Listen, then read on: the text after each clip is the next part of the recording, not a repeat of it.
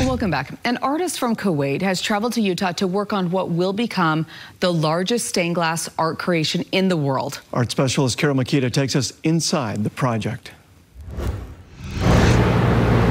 The creation of Arabic calligraphy combines an artistic flourish with the beauty of the written word. Which is the most important art in, our, in the Arabic and the Islamic civilization.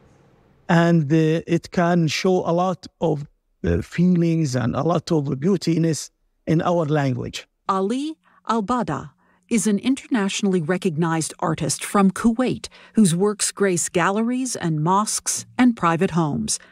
But this is a first. He joins artists from Holdman Studios in Lehi in creating a one of its kind sphere of light, a building of stained glass. It will bring together religion, art, and architecture history of the world is written in art. The Arabic, uh, though countries have like flourished into this like visual art form that is so elegant and, and powerful. Both art forms are ages old, but are part of a new vision. With the beautiness of the Arabic calligraphy and the beautiness of the stained glass, I think this is will show a new kind of art and show the people a new thing.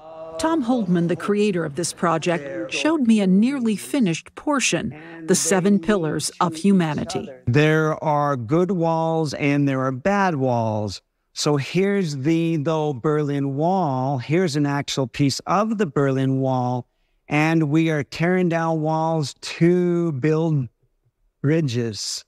And then that, like unity, leads to love. That is what has happened in the creative process as two different art styles come together. Very beautiful people, very, very kind people.